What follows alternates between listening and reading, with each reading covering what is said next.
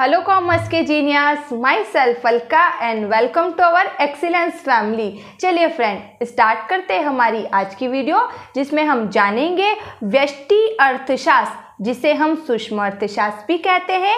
इसका अर्थ, इसके अंग और इसकी विशेषताओं के बारे में। सबसे पहले हम इसका अर्थ जानते हैं, जिससे इसके अंग और विशेषता हमें आसानी से समझ में आ जाएगी। तो देखो अर्थ में क्या लिखा है। लिखा है, व्यष्टि अर्थशास्त्र या सूक्ष्म अर्थशास्त्र अर्थ विज्ञान की वह शाखा है, जिसमें अर्थशास्त्र के छोटे छोटे भागों या विशिष्ट इकाइयों का अध्ययन किया जाता है। उदाहरण के रूप में दिया है जैसे एक फर्म का अध्ययन, एक उद्योग का अध्ययन या एक व्यक्ति का अध्ययन व्यष्टि अर्थशास्त्र के अंदर किया जाता है। एग्ज़ाम्पल से समझते हैं। जैसे हमारी अर्थव्यवस्था में यहाँ पर कितने उद्योग है? चार उद्योग। है अगर मैं केवल एक उद्योग का अध्ययन करती हूँ कि एक उद्योग से कितना उत्पादन किया जाता है, उत्पादित की गई वस्तुओं का कितना उपभोग होता है मतलब लोगों द्वारा उसका कितना उपभोग होता है, कितना उसको कंज्यूम किया जाता है और इस उद्योग से कितनी आय प्राप्त होती है, अर्थव्यवस्था में इस एक उद्योग का कितना योगदान है तो ये हो जाता है व्यष्टि अर्थशास्त्र। और अगर मैं इन बाकी के तीनों उद्योगों का भी अध्ययन करती हूँ, एक साथ इन चारों का अगर मैं एक साथ अध्ययन करूँगी कि चारों की मिला के इतनी राष्ट्रीय आय है, चारों का मिला के इतना उत्पादन है, चारों को मिला के इतना उपभोग किया गया तो वो समष्टि अर्थशास्त्र हो जाता है। और अगर मैं इन चारों का अलग अलग इंडिविजुअल है ना अलग अलग रूप से अध्ययन करती हूँ तो ये हो जाता है यहाँ पर व्यष्टि अर्थशास्त्र। आया समझ में?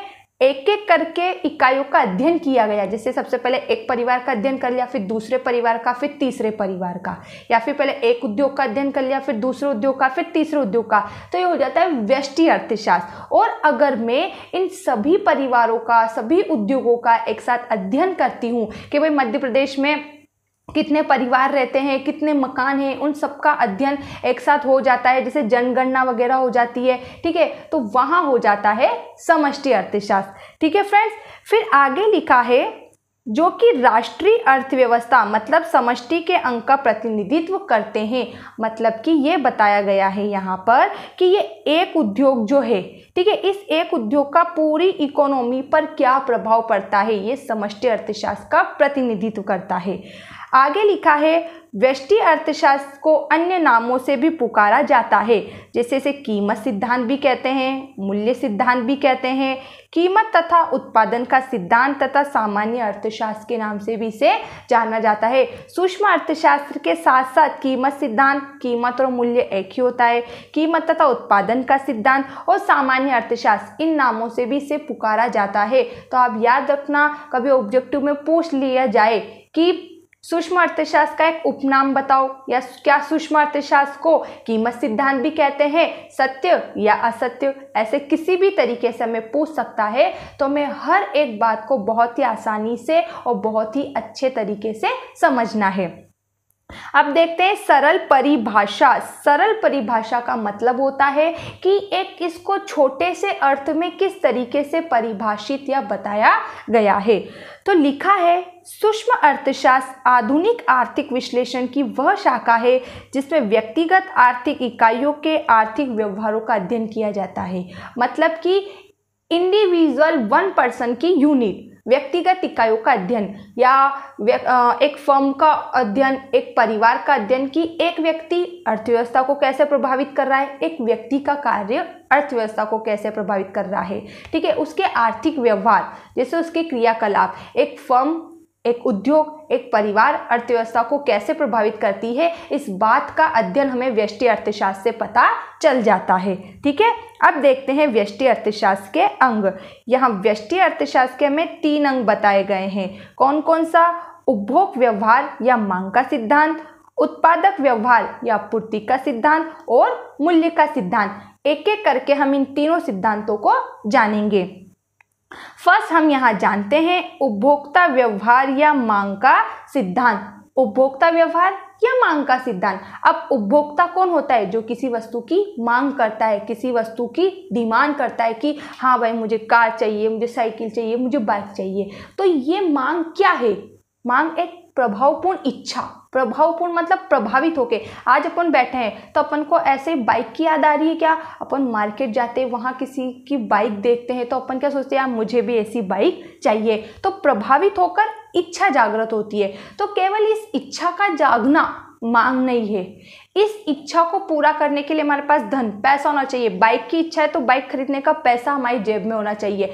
फिर केवल पैसा ही होना पर्याप्त नहीं है, उसको खरीदने की भी क्षमता होनी चाहिए। पैसा दे के अगर उस चीज़ को आप ले लोगे तो यहाँ पर हो जाती है मांग। तो पहला इसका अंग है, उपभोक्ता व्यवहार या मांग का सिद्धांत, जिसमें बताया गया है कि इस सिद्धांत में यह स्पष्ट किया जाता है कि उपभोक्ता अपनी अधिकतम संतुष्टि के लिए अपनी आय को भिन्न भिन्न उपयोगों में किस प्रकार प्रयुक्त करता है।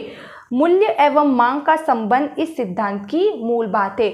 मतलब उपभोक्ता के व्यवहार को बताया गया है कि किसी वस्तु की मांग उपभोक्ता अपनी बजट या अपने पास जो पैसा होता है उसके आधार पर किस तरीके से करता है। क्योंकि हम पढ़ रहे हैं कि व्यष्टि अर्थशास्त्र में छोटे छोटे भागों का अध्ययन किया जाता है। तो यहाँ बताया गया है कि एक व्यक्ति के पास जैसे एक हज़ार रुपये है तो वो एक हज़ार रुपये को किन किन चीज़ों में खर्च करके अपनी मांग को पूरा करेगा या अपनी अपने आप को संतुष्ट करेगा। ठीक है? सेकंड इसमें लिखा है उत्पादक व्यवहार या पूर्ति का सिद्धांत। पूर्ति मतलब अर्थव्यवस्था में एक निश्चित समय पर अर्थव्यवस्था में जिस चीज़ की आवश्यकता है उसका उत्पादन करके उसकी भरपाई करना। तो ऐसी पूर्ति कौन करता है? उत्पादक। उत्पादक कौन होता है? वस्तु को बनाने वाला। ठीक है? तो देखते हैं क्या लिखा है।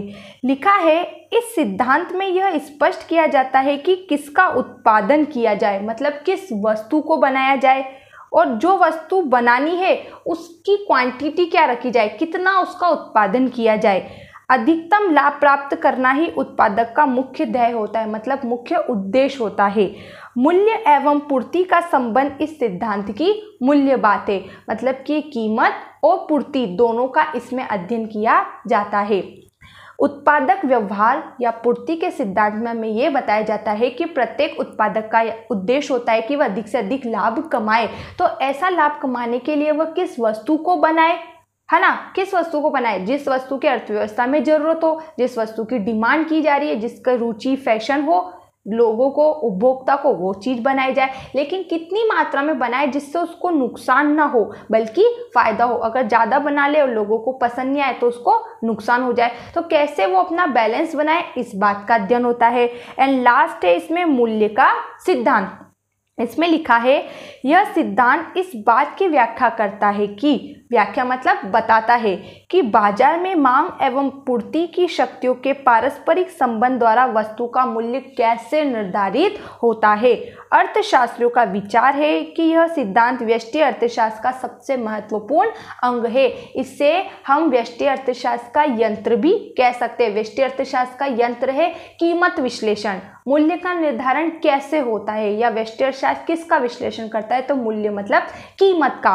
तो यहाँ बताया गया है कि व्यष्टि अर्थशास्त्र में मांग और पूर्ति के आधार पर किसी वस्तु का मूल्य निर्धारित होता है। और हमें मालूम है कि मांग और पूर्ति को लेकर वस्तु का मूल्य तो निर्धारित होता ही है। साथ ही साथ उस वस्तु को बनाने में जितना आ, कच्चा माल लगता है जितनी लागत आती है उस आधार पर भी तो हम वस्तु का मूल्य निर्धारित करते हैं। तो आया समझ में? मूल्य का सिद्धांत, मूल्य के सिद्धांत व्यष्टि अर्थशास्त्र का महत्वपूर्ण सिद्धांत है। इसमें बताया जाता है कि मांग और पूर्ति के आधार पर कैसे वस्तु की कीमत निर्धारित होती है। जैसे एग्ज़ाम्पल से देखो, जैसे कोई वस्तु यहाँ पर कितनी रुपए की है? पचास रुपए की पचास रुपए की कोई वस्तु है, यहाँ पर मैं प्राइस लिख देती हूँ। उसकी क्वांटिटी मतलब मात्रा कितनी है उस वस्तु की यहाँ पर? सौ। और डिमांड मतलब उसकी मांग, खरीदने वाले लोग यहाँ पर कितने हैं? दो सौ। पचास रुपये की कोई वस्तु है सौ मात्रा उसकी मेरे पास है और 200 लोग खरीदने के लिए है। एक एक व्यक्ति को भी वस्तु जाए तो वस्तु कम पड़ जाएगी। 100 लोगों के लिए और उत्पादित करनी पड़ेगी।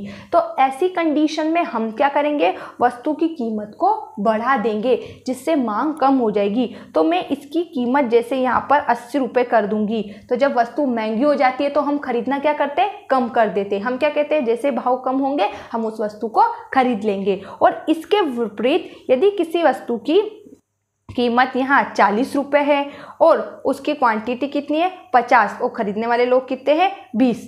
किसी वस्तु की कीमत चालीस रुपये है है ना? और मात्रा कितनी उसकी? पचास। लेकिन इसको खरीदने वाले लोग कितने हैं? बीस। तो ऐसी कंडीशन में यहाँ पर क्या है?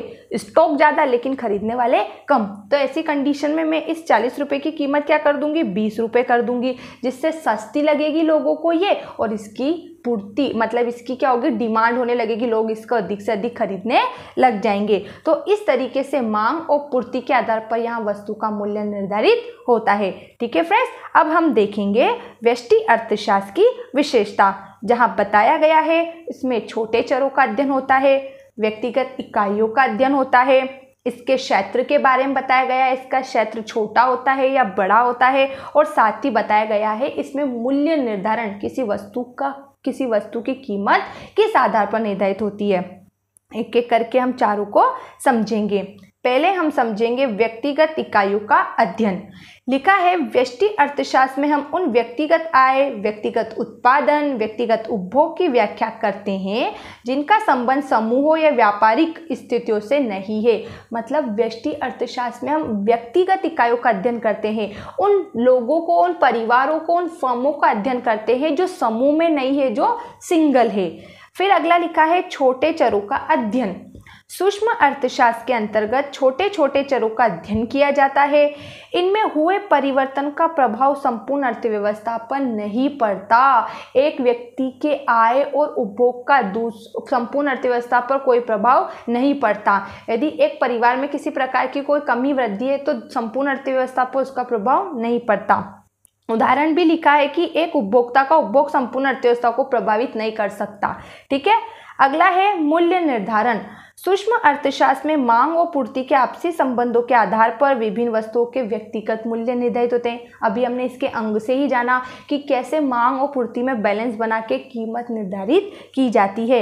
एंड लास्ट है क्षेत्र। सूक्ष्म अर्थशास्त्र का क्षेत्र सूक्ष्म मतलब छोटा होता है, क्योंकि इसमें व्यक्तिगत इकाई का अध्ययन किया जाता है।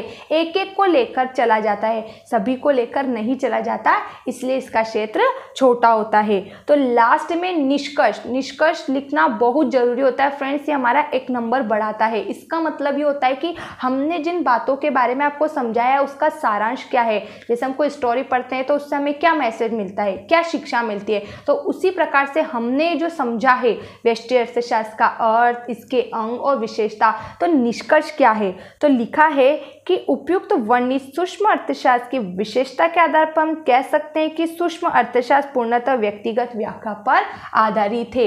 इंडिविजुअल वन पर्सन पर है ना? वो क्या है? डिपेंड है कि इसमें व्यक्तिगत इकाइयों का, व्यक्तिगत फॉर्म उद्योग, परिवार का अध्ययन होता है। ठीक है फ्रेंड्स अब इसके अर्थ, अंग, विशेषता, किसी भी बात को लेकर कोई भी डाउट होता है तो डाउट को माइंड में नहीं रखना है। डाउट को दूर करने के लिए कमेंट्स बॉक्स दिया गया है, जिसमें लिखकर डाउट को दूर करना है।